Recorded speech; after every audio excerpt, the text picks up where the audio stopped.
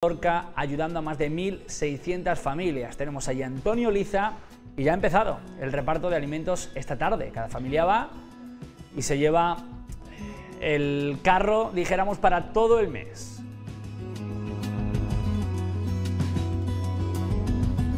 Pues efectivamente, Fran, buenas tardes otra vez. Eh, aquí está, empezó el reparto a las cuatro y media de la tarde. Ese reparto es de cuatro y media a seis y media, donde esa familia vienen a recoger los alimentos que previamente han pasado por una selección por los servicios sociales del Ayuntamiento de Lorca. Tenemos a Pedro con nosotros, que es uno de los voluntarios, y que están aquí, bueno, Angelines, Marina, Jesús, Pedro.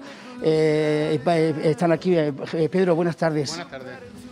Bueno, trabajando aquí días y días y días, y hay un llamamiento muy importante que creo que tienes que decir, que estamos a final de mes y creo que están escaseando los alimentos. Sí, están escaseando y no, hace falta, no hacen falta donaciones, que nos vayan donando cosas, que antes podíamos nosotros salir a los almacenes y demás sitios y al supermercado a recoger, ahora con la pandemia no podemos hacerlo y solamente estamos mm, con con lo que nos dan, con lo único que, que, nos, que nos manda el arzobispado, lo que nos manda el gobierno y el resto pues no tenemos muchas cosas para poder hacer los carros un poco más grandes para que la gente aguante mejor el mes.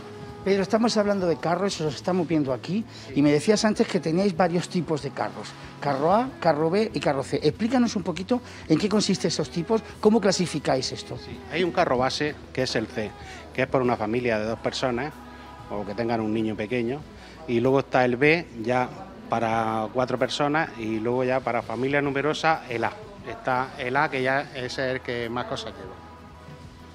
Y así pues es lo que vamos haciendo. Nosotros hacemos una base con el carro C, que es el más pequeño, y luego añadimos lo que les falta para poder complementar lo que se van a llevar los que tienen que venir a por los alimentos. Es decir, que va en función de los miembros que cada familia tiene eh, para entregar esos alimentos. Luego también queremos saber, Pedro, cómo se hace la selección para que la gente venga aquí, aquí a este punto donde tenéis el, digamos, el almacén de los alimentos. ¿Cómo llega la gente hasta aquí? ¿Cómo lo hacéis? Cuando una persona se ve necesitada, entonces va a servicios sociales. Y servicios sociales ya ve si tiene los requisitos para poder recoger los alimentos, ya le piden una serie de papeles, si están trabajando, si no están trabajando, la renta que tienen, y es lo que, lo que se suele hacer.